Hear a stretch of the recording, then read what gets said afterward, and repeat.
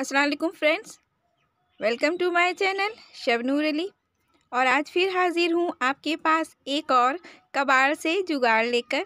लेकिन आपको ये जुगाड़ गार्डन में ब्यूटी बढ़ाने के लिए बहुत हेल्प करेगी। बहुत सारे काम होते हैं और गार्डनिंग का शौक़ भी है। तो ये शौक़ पूरा करने के लिए मैं कुछ टुकड़ों में काम करती हूँ।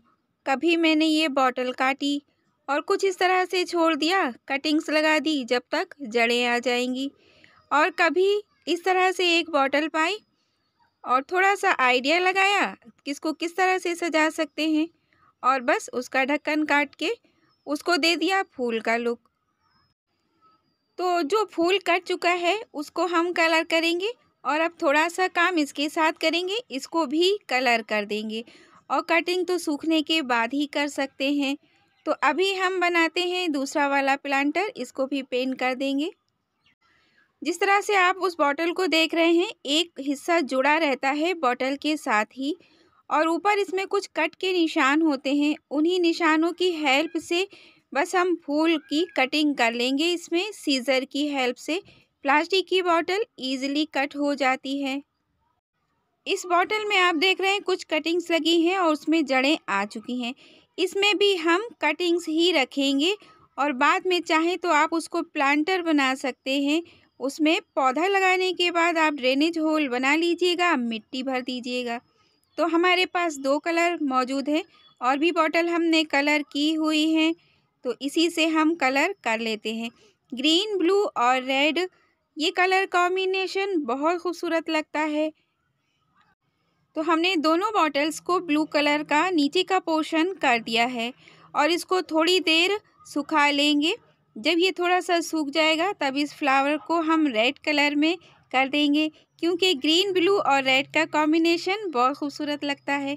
जब इस में कटिंग लगी होगी तो ये फूल भी खिला होगा पत्तों के बीच में। ऐसा ही कुछ आप आगे देखने वाले हैं। तो कलर का काम ख़त्म करते हैं, इसको भी कलर करके छोड़ देते हैं, कटिंग तो सूखने के बाद ही होगी। तो इस तरह से मैंने कलर्स लगा दिए हैं। यहाँ पर फूल भी खिल चुका है।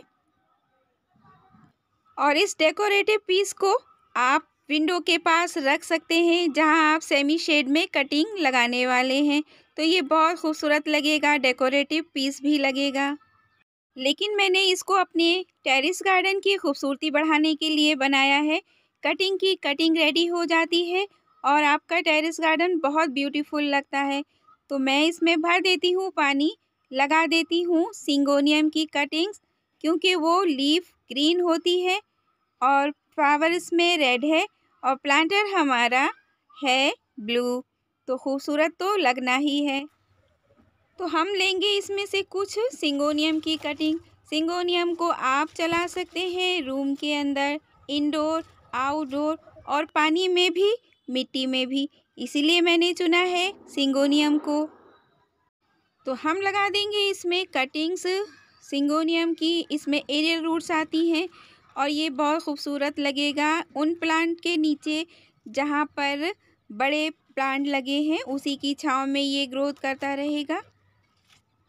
और इसके साथ ही हमारा फ़र्ज़ है आपसे रिक्वेस्ट करना कि हमारे चैनल को सब्सक्राइब कीजिए, एक लाइक कीजिए, शेयर एंड कमेंट कीजिए। और आपकी मर्ज़ी है और ख़ुशी है हमारी रिक्वेस्ट को एक्सेप्ट करना। तो मुझे पूरी उम्मीद है कि आप एक लाइक ज़रूर करेंगे।